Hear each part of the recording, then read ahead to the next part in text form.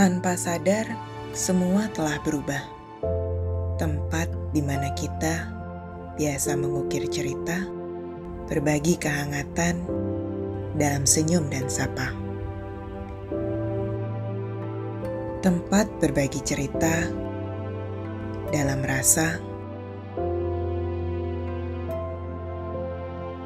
tempat berbagi cerita dalam tawa. Kerinduan itu selalu ada. Namun, kita harus percaya kita bisa bangkit bersama dengan semangat yang membara.